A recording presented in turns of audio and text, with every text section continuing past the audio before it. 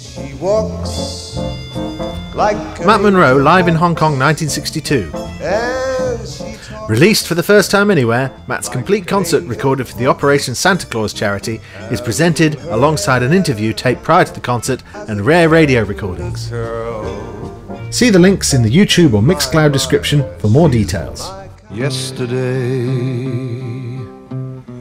all my troubles seem so far away. Born free, as free as the wind blow from Russia with love. I fly to you there could never be a portrait of my love. To my mind, she's my kind of girl. This is the life. Here's where the living is. Come with us, run with us. We're gonna change the world. You'll be amazed, so full of praise. When we've rearranged your world, we're gonna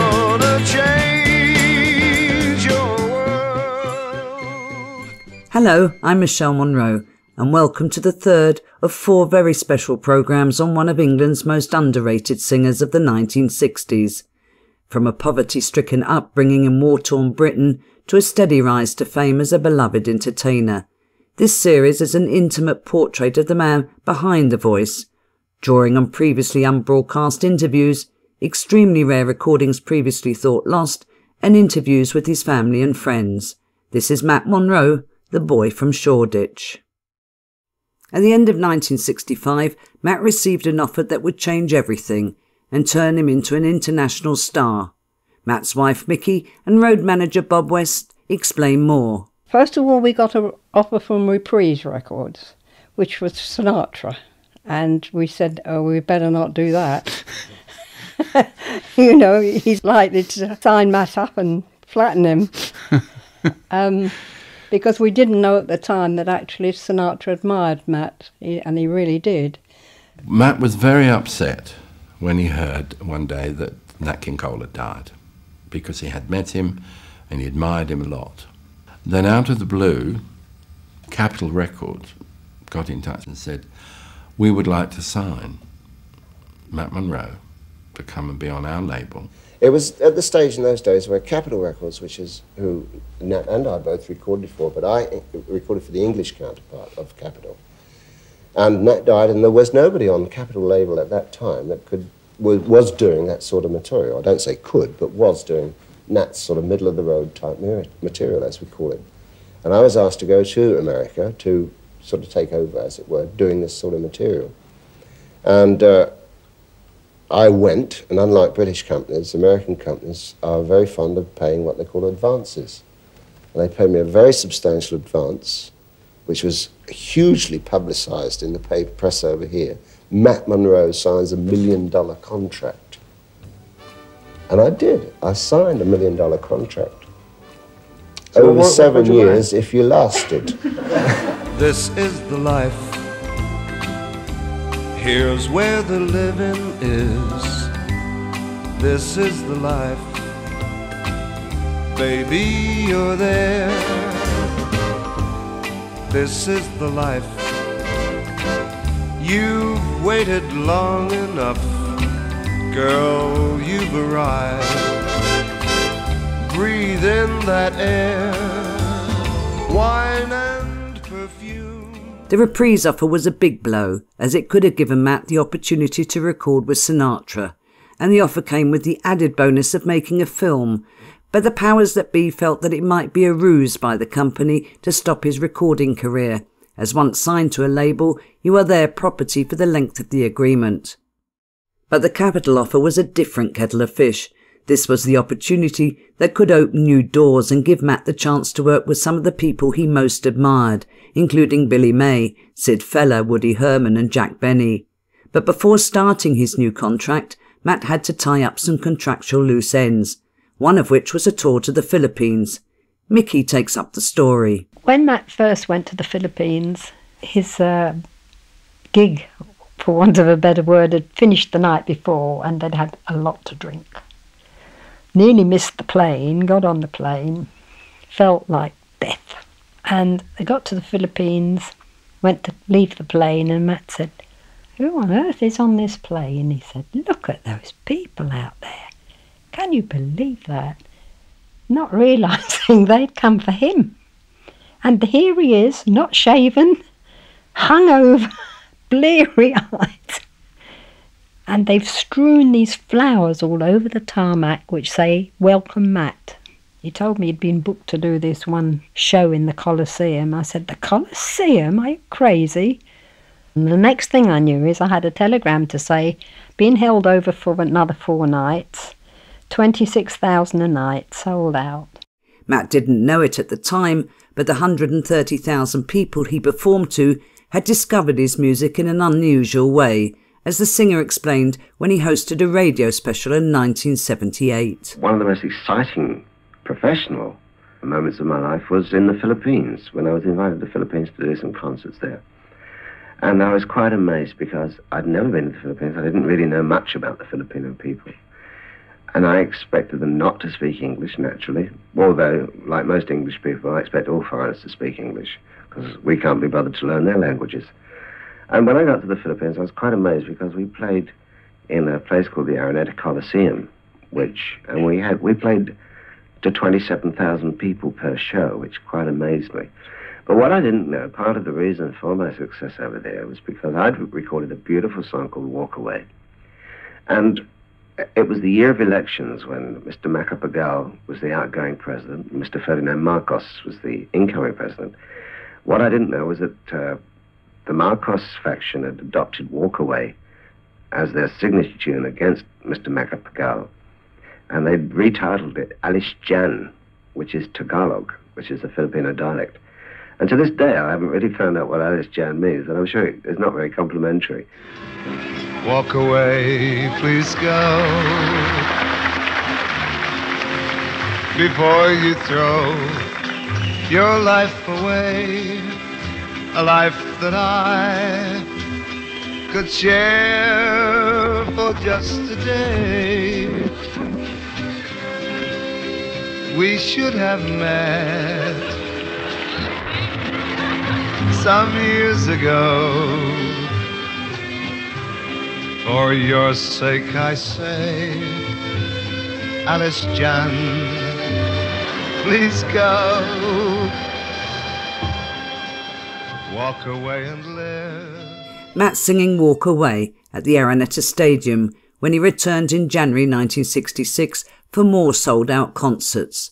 That second trip was no less eventful. I got arrested over there. Arrested? you, you not Well, no, I'm not kidding. I had my passport taken away and everything. For what? Uh, well, it was. They took an, an action against me. Oh, oh, I heard about that. Yeah. Oh, yes, that's right. It was financial action. Uh, well, breach of contract, actually, you know.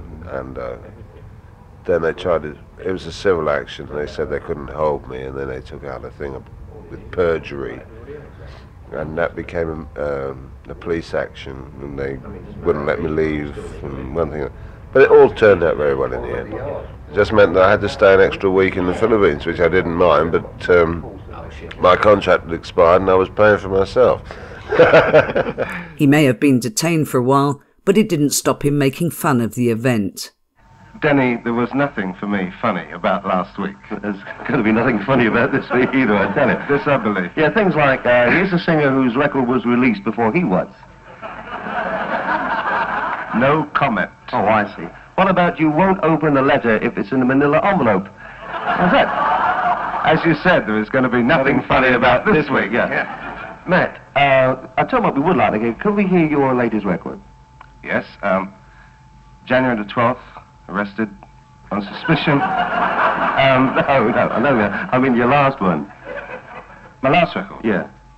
January the 10th, arrested on sus- The singer on a long thought lost recording of Parade of the Pops, 19th of January 1966.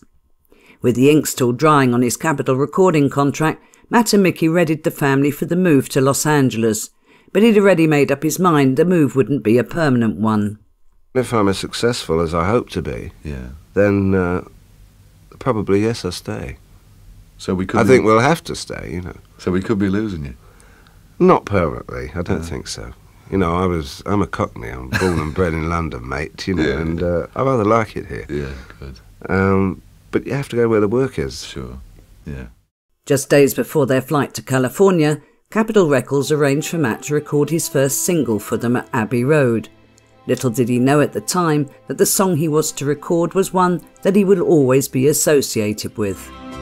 born free, as free as the wind blows, as free as the grass grows, born free to follow your heart.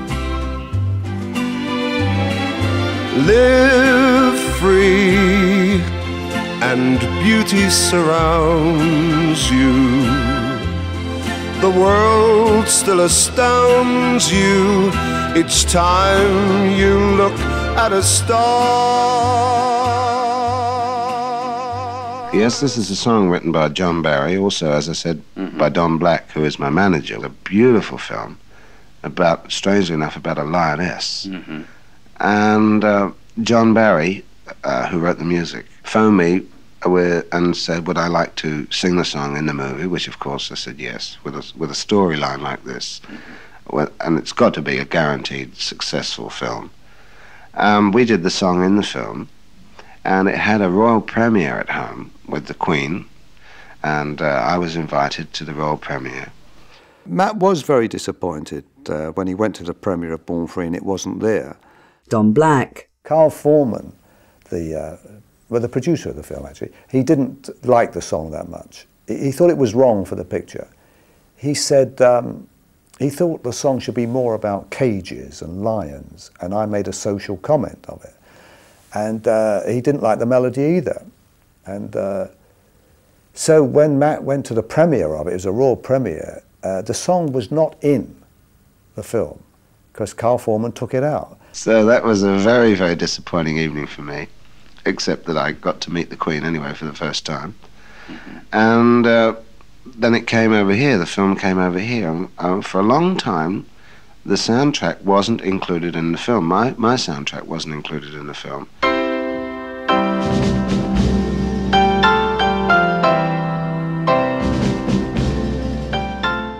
But what happened was that Roger Williams, a pianist, uh, an American pianist, recorded it, and it went. Su- it became such an instant hit in America.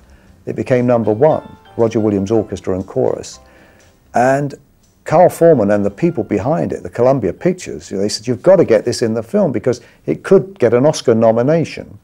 The only thing that upsets me a great deal is the fact that it wasn't a hit in, in America for me. It was a hit by Roger Williams. With Roger Williams' orchestral version sitting at the top of the American charts, that was the manna from heaven that Columbia Pictures couldn't ignore. They could see dollar signs, but there was a slight problem. For a song to be eligible for an Academy Award, it has to feature in every print of the film. Subsequently, the heads of Columbia fought to reclaim every piece of celluloid that had been distributed so as to put the song back in. Matt had been devastated when producer Carl Foreman had blatantly lied to him at the premiere, saying the song had been taken out because the film was fractured during transport, but it was nothing compared to what came next. While his manager Don Black flew to Hollywood for the Oscars, Matt sat in England as he'd not been invited to the ceremony or to sing the song that featured in the nominated film on that historic night. Both the song and Barry's score won Academy Awards. Don sent Matt a photograph of the moment he'd been handed the Oscar by Dean Martin. It said, If it wasn't for you, I wouldn't be in this picture, Donzy. It left a bitter taste in his mouth, and that was the moment when a small stab of resentment started to creep in over Don's managerial commitment. He felt that the lyricist was so wrapped up with the possibility of winning an Oscar himself that he'd overlooked pushing for his client's appearance in the show. Instead, Roger Williams took centre stage. Although other songs had propelled Matt into a worldwide market, nothing prepared him for the success of Born Free. It became one of the most successful songs of the century, and despite popular belief, the classic never charted in the UK. The success came from further afield, with the track soaring to the number one position in Australia, in Singapore, the Philippines, and the Jamaican Hit Parade. The lyrics were a metaphor for freedom, and political and religious leaders the world over hooked onto its subliminal message, with one African nation adopting it as its national anthem. The song Born Free will always be associated with Matt Monro. Like the Beatles, Matt's voice was to become the international sound of 60s Britain. In the wake of Bond, he was to become Hollywood's king of the movie soundtracks, reaching a massive worldwide audience who might otherwise never have heard his music. By May of 1966, Matt and his family were based in California. My wife and I, we, we love uh, California. We enjoy life there very much indeed. Um, the kids love it. My, my, daughter is going to an American school now for the first time. She's only been there about six or eight weeks. And she's out of her mind. She thinks it's the greatest thing that ever happened. My boy seems very happy there. So if um, my agents um, come up with enough work to keep me working in America, then I'll be happy to stay. Because we lived out in a place called the San Fernando Valley. It's a lovely suburb. It's about 26 miles outside of Los Angeles in the desert. Yeah. Um, beautiful weather. We rented a ranch house style home with a huge pool and yeah. orange trees in the garden and beautiful gardens and everything, you know. And it was unbelievable. It was so beautiful. With the Monro's luggage barely unpacked, Matt was called into the studio to record 16 songs over a four day period. Capitol had no intention of letting their new signing settle in, and the ever industrious Mickey was left trying to make their house into a home, kissing her husband goodbye so he could fulfill various engagements back in the UK before being rushed back into the studio as soon as his plane landed back in LA. This time, another 13 tracks. That's 29 songs recorded in six weeks. Matt wasn't happy with a lot of the recordings made in America and felt as if the songs were being churned out on a conveyor belt. Get them out and sell them quick. I think because they were thrown together, there wasn't the care and thought taken over them as there is in this country, which may be slower, but I think is much more efficient, much more professional, and the end product proves the worth of spending this time making an album. To Matt's relief, his next recording saw him back on familiar ground at EMI Studios with George Martin. George had left EMI and set up his own production company, Associated Independent Recording, or AIR as it became more familiarly known throughout the business. This gave George the advantage of still producing Matt even though he was now contracted to Capitol, something George couldn't have done as head of Parlophone. This session was for another movie theme, with John Barry once again at the helm and lyrics by Mack David. The film was The Quiller Memorandum, and the song Wednesday's Child. Wednesday's child is a child of woe.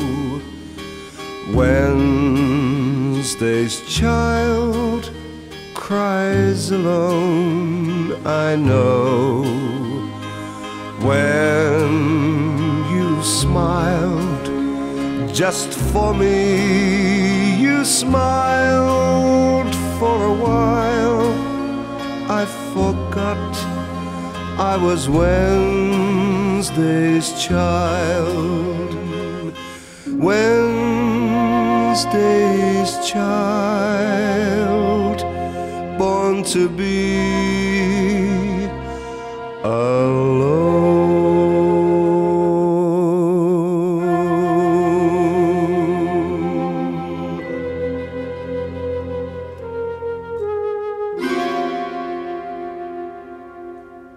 Was much happier with the session and jumped on a plane for a tour of Australia and a TV special for Channel 7 in Sydney. As well as his better known songs, he'd also sang a number he'd had a hand in himself. I'm a pommy. One of those English guys, yes, I'm a pommy. A little bit undersized. A rare occasion when the East Ender received the song's writing credit. He was always proud of his roots. You can take the boy out of Shoreditch, but not Shoreditch out of the boy. Now Cockney is the only language that I speak. I'm trying hard to become acclimatized, but I just can't help being anglicized. I'm longing for that fog to come on down. Cause I'm a pommy from London town. Although I miss good old Piccadilly, I'll take King's Cross and Taylor Square. From Wollongong to Wagga Wagga, they laid a welcome mat everywhere. Yes, I'm a pommy. I hope you don't mind me. It's getting late now. Time for that cup of tea. But don't laugh, folks, cause if you look up your family tree,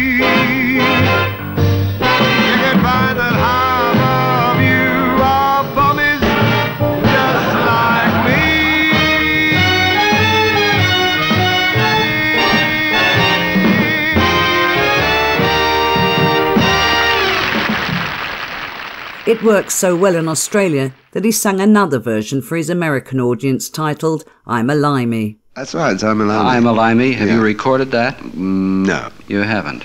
no, and I'm So not going to. Oh, that's a shame. I think it's. Well, it's, it's one of those things, uh, John, you've heard the punchline of the Yes, song now. uh-huh. I- It's a piece of material which we use in the act to explain that I'm not American, I am from England. hmm And it has a punchline. I think if we record it, it's like telling a gag twice Yes, that's to the true. same audience. Have you wri- written any songs yourself?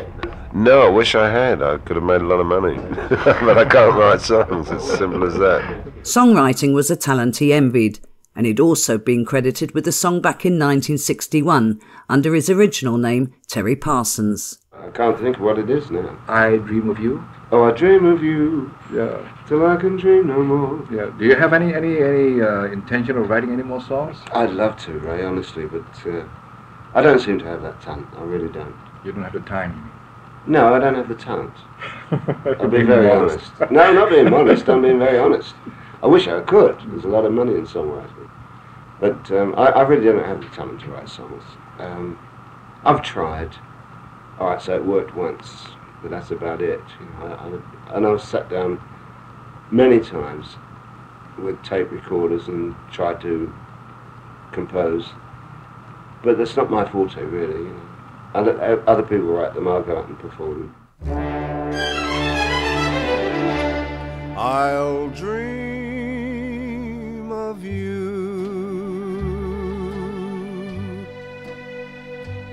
till I can dream no more until the stars above shine in the sky no more. I'll dream of you until the seas run dry. Though you refuse my love, my dreams you can't deny. Although you went away and broke my heart in two until eternity, I'll still remember you a million years from now. My love, I promise you, if I can dream of love, I'll dream of you. There was good reason why Matt couldn't remember the tune. He didn't compose it. It was written by someone called Mark Dan, and Matt was given a writing credit in lieu of payment for recording it. The mysterious Mark Dan was also credited on I'm a Pommy, although this time Matt wrote a large proportion of the lyric himself. But who was Mark Dan? It was a mystery for a long time, but Monro archivist Richard Moore has recently managed to unmask him. Mark Dan was a pseudonym for a man called Fred Jackson. He worked for Mills Music and just so happened to be Mickey Monro's boss. Now, he evidently tried his hand at writing, but working for a music publisher himself, he couldn't use his own name. His pseudonym, I suspect, was a bit of a pun. He worked on Denmark Street, so he took Denmark, swapped the syllables, and switched Den to Dan, and there you've got Mark Dan. Matt's frustration with his new label continued later that year. In November, he had a residency at New York's Persian Room at the Plaza Hotel, and while in the city, he went into Capitol Studios to record the album Invitation to Broadway. Unlike his albums of the past with huge orchestras or big bands, he wanted to pare it all back and gain a more intimate feel. Just five musicians made up the payroll piano, bass, drums, and two guitars. The session went like a dream, and feeling pleased with himself, Matt went back to work at the Persian Room. Unbeknown to the British singer, producer Dave Cavanaugh decided that he wanted big orchestrations on the project and overdubbed the album with other instruments and extra brass. Matt went mad, not only because Cavanaugh had butchered his tracks, but that it had been done so underhandedly.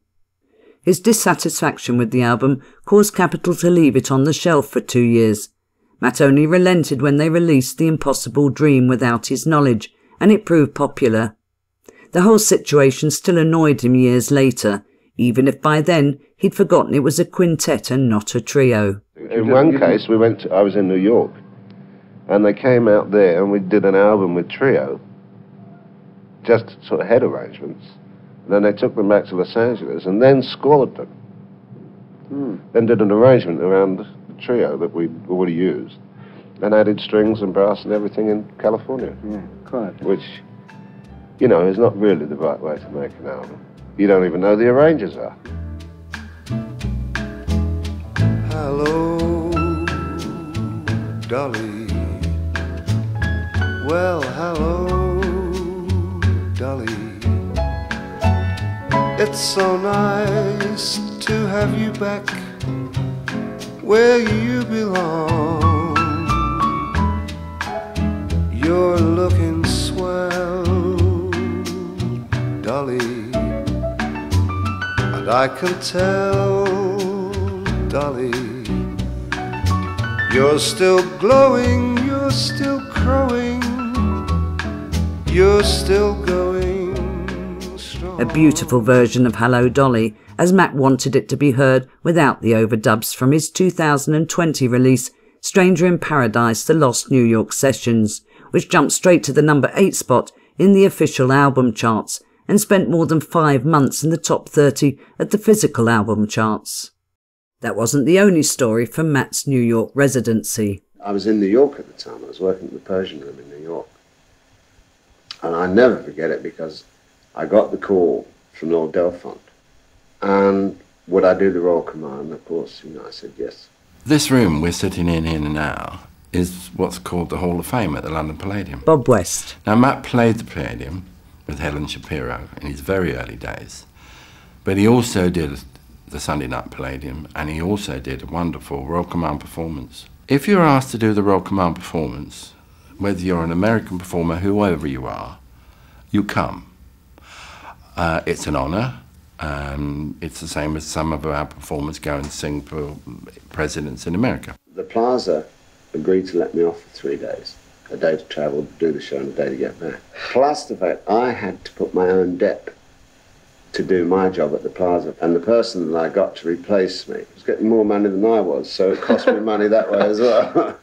it was magic because I shared a, a dressing room at the London Palladium with Jerry Lewis, Sammy Davis Jr., Tommy Steele, Eric Canoni, We all Oh. shared the same destiny. As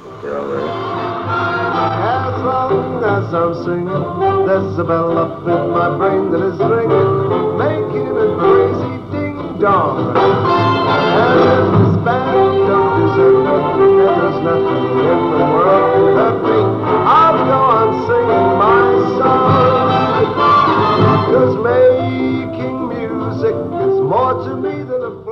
A clip from a fan's recording of the 1966 Royal Command performance, which, like so many of the singer's TV and radio appearances, no longer exists in the archives.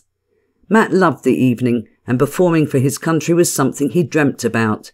His appearance that night was hailed as a great success, and it gave him the chance to kick back with his mate Sammy Davis Jr., who was also on the bill. But there was no time to bask in the aftermath of that magical evening. Matt was soon back on the flight that had winged him over less than 72 hours earlier to complete his stint at the Plaza Hotel. He completed the 6,000 mile trip, only missing one performance.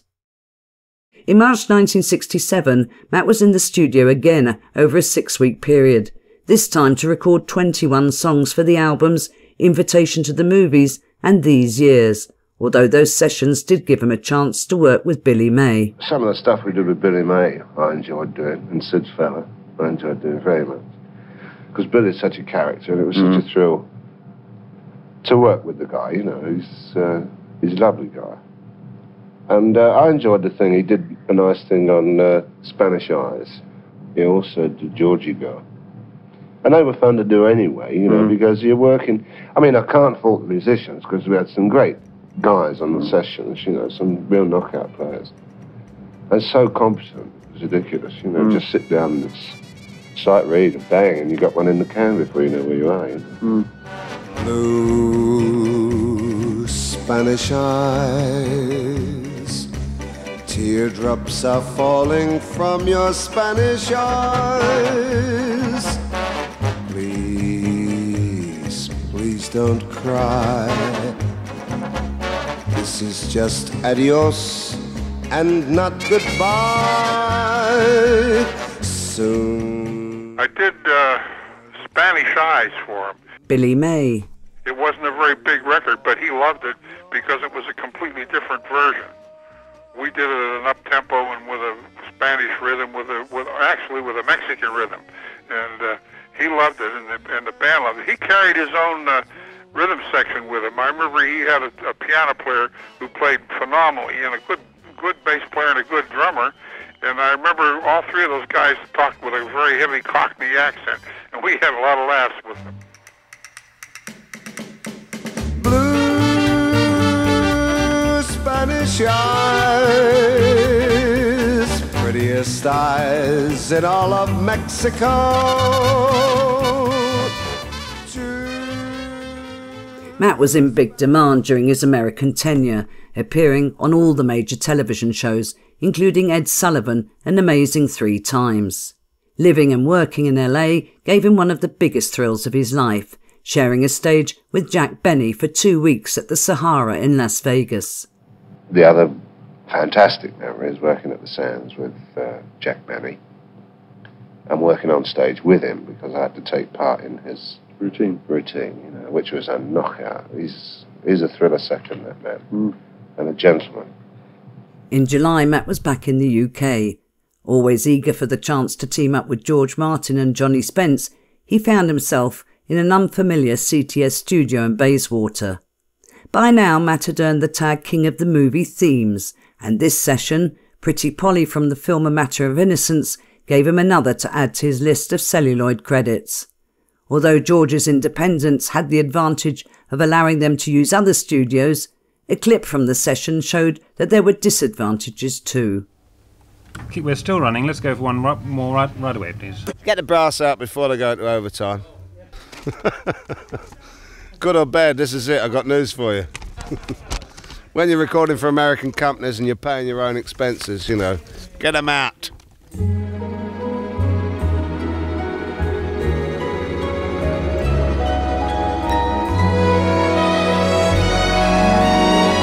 Listen to me, Polly, while you can.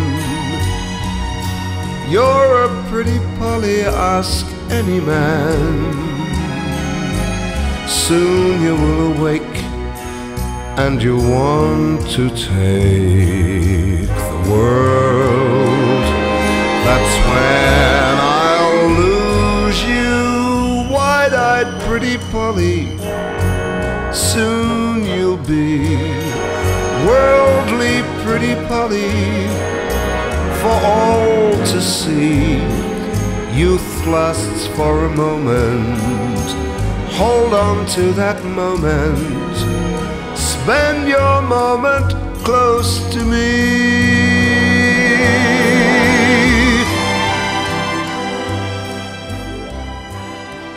During that same trip back to the UK, Matt also recorded a TV special with the great Nelson Riddle. As I said to you earlier, this is the first time I've had the opportunity of working with Nelson Riddle. It's long been an ambition of mine, and tonight this ambition has been realized. But uh, he's been playing his music, and I've been singing my songs, and we haven't really got together on something between us. And I asked him, would he please write an arrangement, something special for me? And here is Nelson Riddle's special arrangement of Strike Up the Band.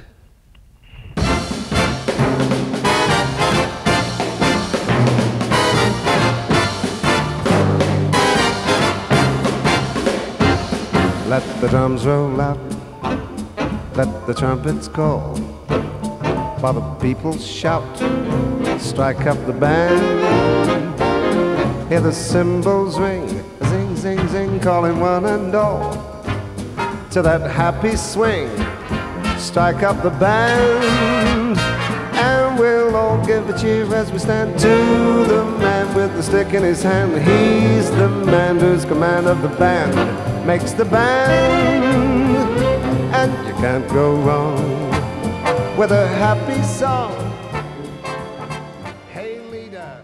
If nothing else, that trip proved one thing he wanted to go home. I started getting very homesick, you know. And I had my two children, my mother-in-law, nanny, my wife. And I just said, pack everything up, we're going home. My wife went mad because she loves it over there. And uh, we just packed up and came home. And I don't regret it. I enjoy this country. And we kept our house on here, just closed it up for a year. And that was the worst decision we ever made because otherwise it would have been ginormous. But Matt, being as he was, he just said, "Oh well, you know, who knows? We might not even be together if, if we'd stayed over there." So this is how it was probably meant to be. The children adored him and he adored them. He was proud of his children.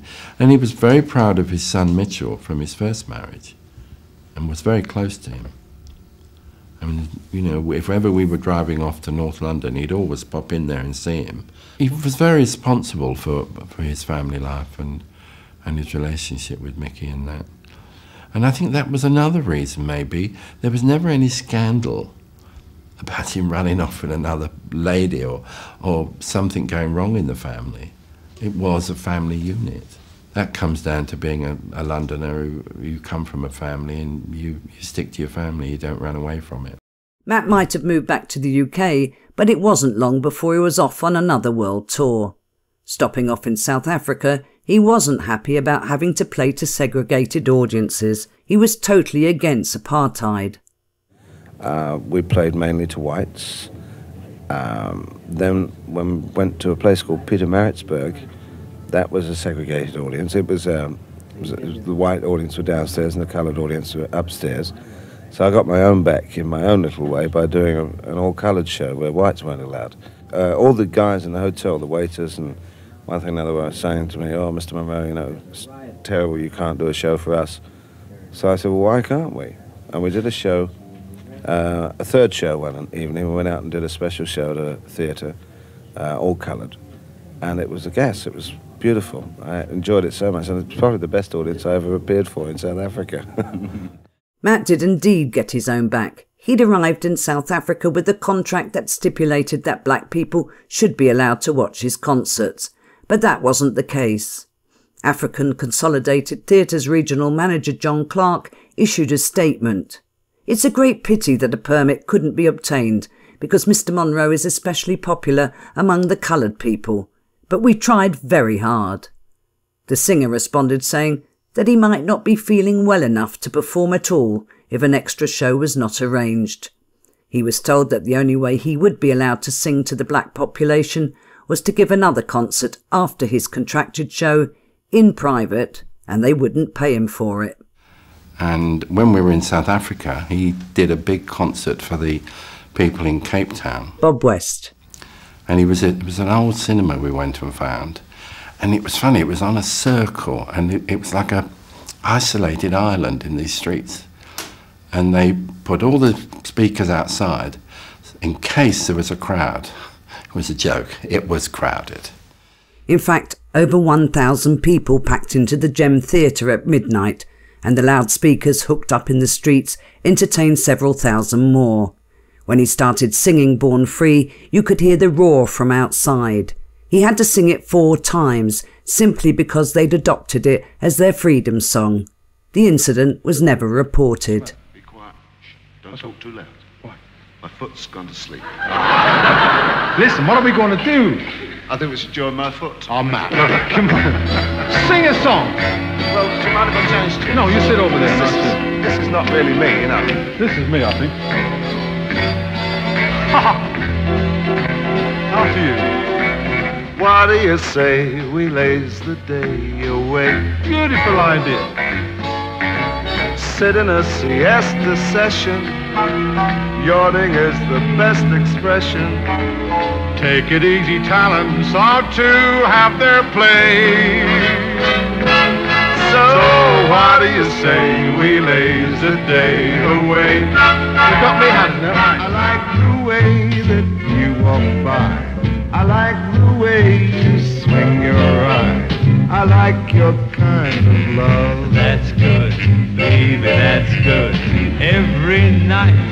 I like the way you beg for more and linger there outside the door.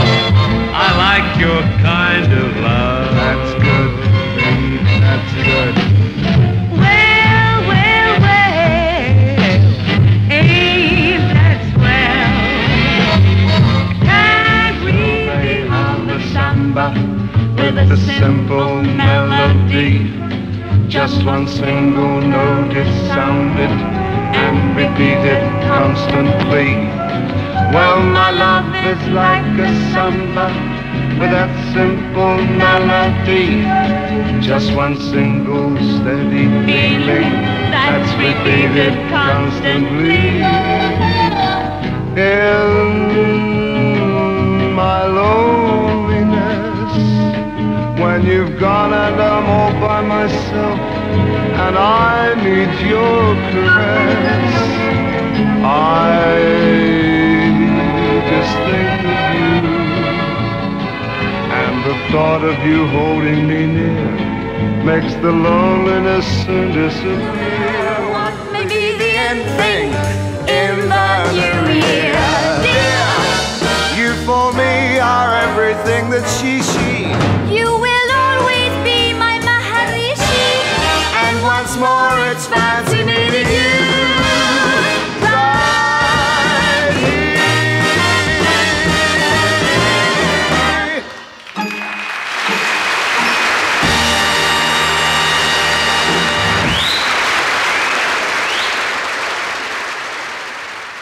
Rescued audios from the Val Doonican show, Piccadilly Palace with Bruce Forsyth and Millicent Martin, Cilla, and Meet Petula Clark.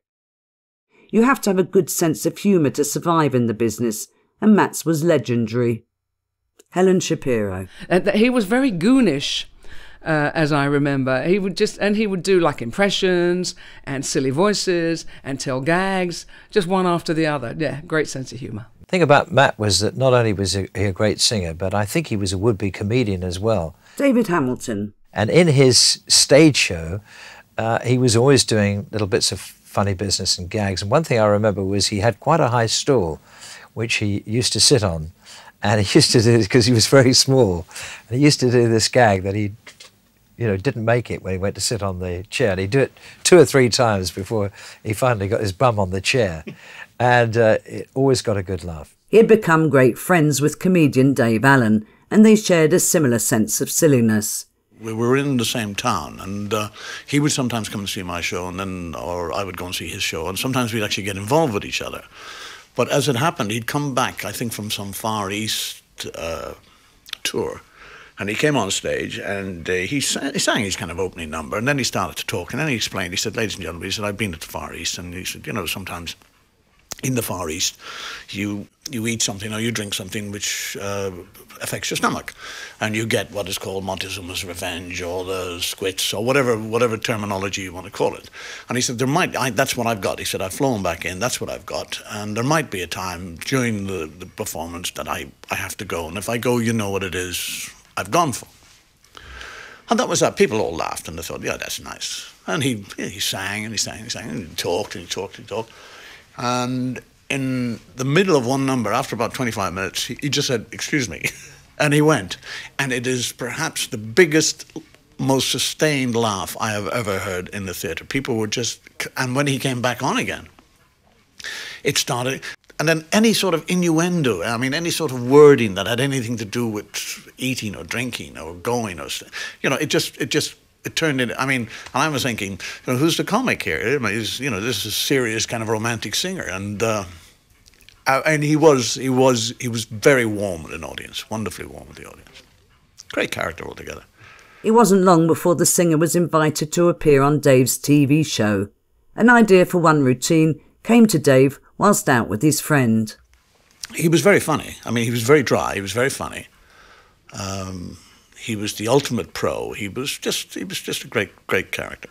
We were sitting in a bar in Birmingham, and Matt had the most extraordinary long body and very short legs. But I'm sitting on the stool, and I I know I'm kind of five inches bigger than Matt, and he's looking down on me while he's sitting on the stool, and I I kind of straightened up. I thought I must be slouching, but he was still kind of towering over me. And I said, Matt, just hang on a second. Will you do me a favor? Just stand up. So I stood up, and he stood up, and I'm looking down on him. And it was one of those kind of things. I thought, what the hell is this about? Matt, stand up, will you?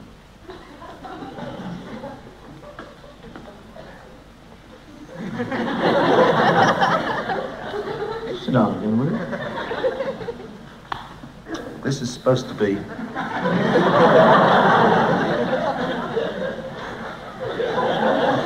This is supposed to be a colour TV spectacular, right? It is. This is a terrible opening. What do you mean a terrible opening? Well, it was a terrible opening. Dave, ladies and gentlemen, ladies and gentlemen, Dave Allen, you're sitting there. Ladies and gentlemen, my guest this evening, Tam Ornom. What was that? What was it? Tam Ornom. Ornom? And I walk on, nothing, no music, nothing at all. You didn't like it? I didn't like it. This is a spectacular, Dave. You're the star of the show. You can have anything you want when you're doing your own show, when you're doing a spectacular. They told me I could have a big singer. You've got a big singer.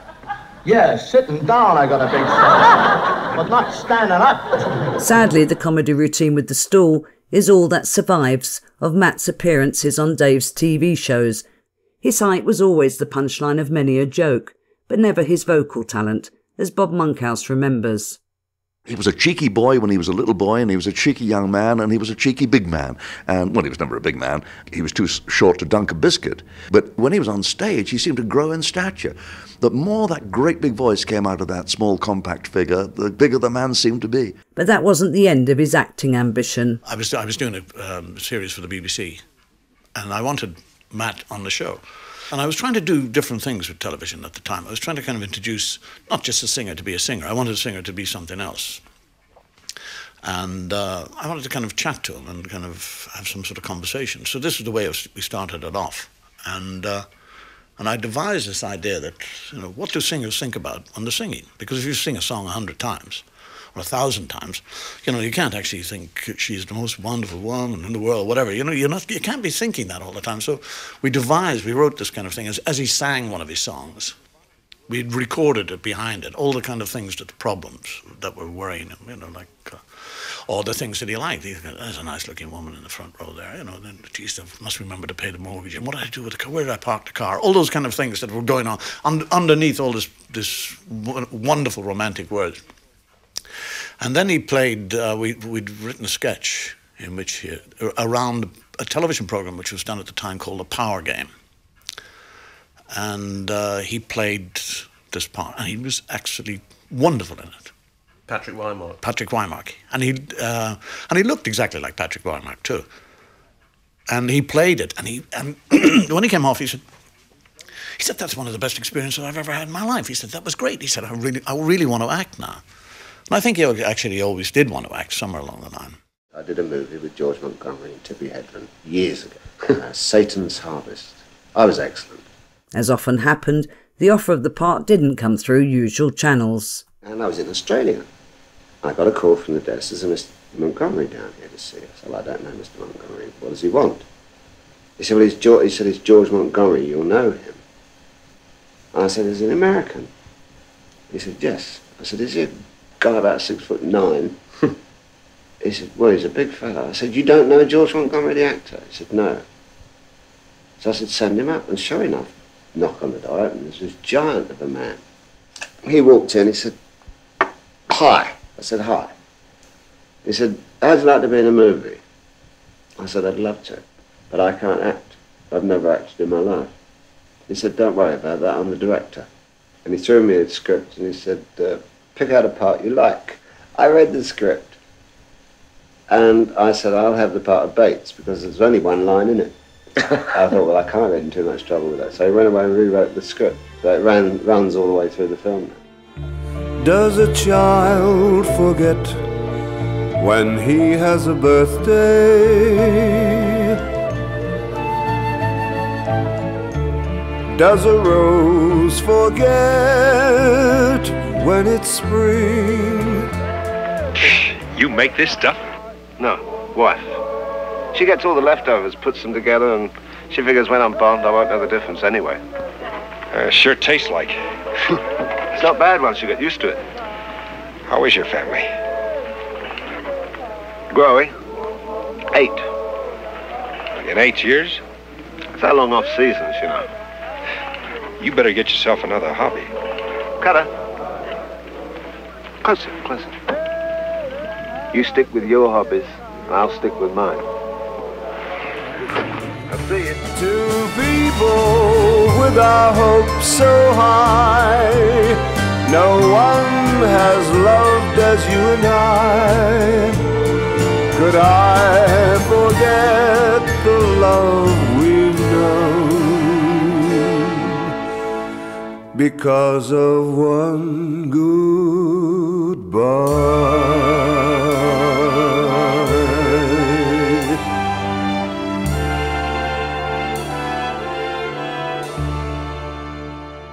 Two People, the theme from Satan's Harvest. Matt absolutely loved his time filming in South Africa, and George Montgomery immediately offered him another script for his next movie in the Philippines, but filming had to be suspended as the country suffered 10 earthquakes with a magnitude of 7.1. Sadly, the opportunity never presented itself again.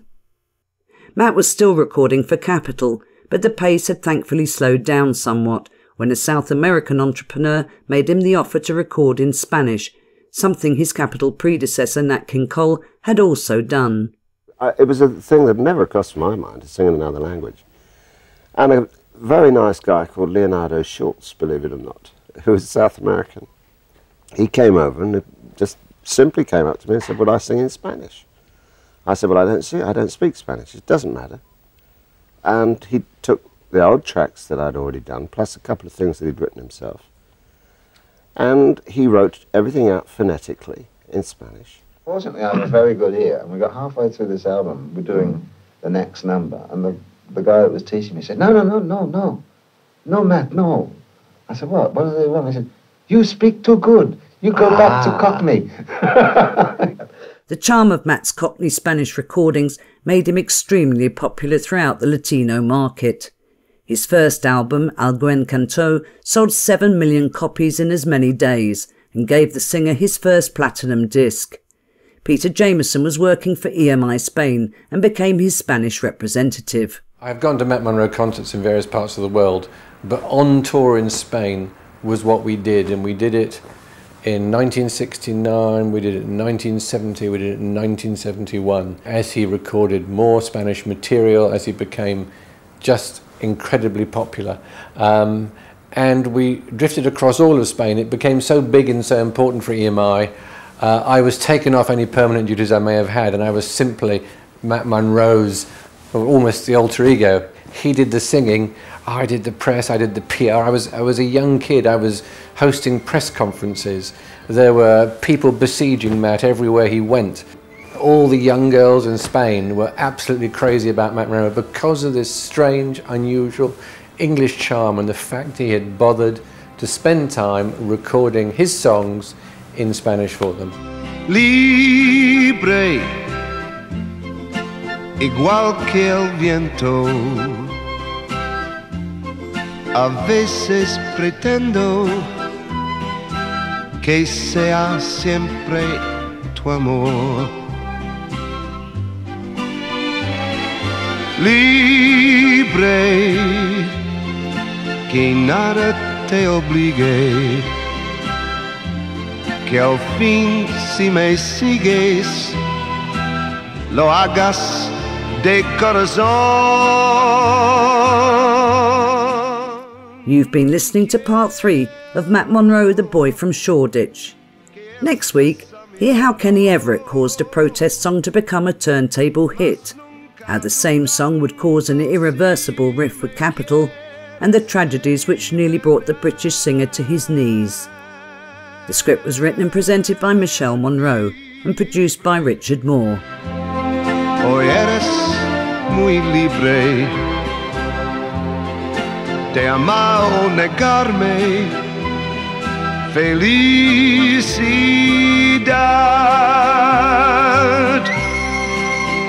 This was a Mint and Monro production.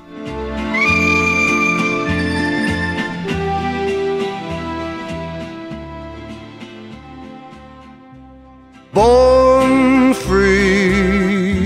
If you'd like to know more about the life of Matt Monro, you may also enjoy The Singer Singer The Life and Music of Matt Monro, a biography by Matt's daughter Michele. Also available is Words and Music, an abridged audio version of the biography, along with rare audio clips and video performances on a custom made USB memory stick. See the links in the YouTube or Mixcloud description for more details. Take my hand. Stranger in Paradise, The Lost New York Sessions, the critically acclaimed top 10 album. Matt Monro's Broadway sessions released for the first time in their original form. Also includes a bonus disc featuring 27 of Matt's best recordings, including Born Free, Portrait of My Love, and Walk Away. See the links in the YouTube or Mixcloud description for more details.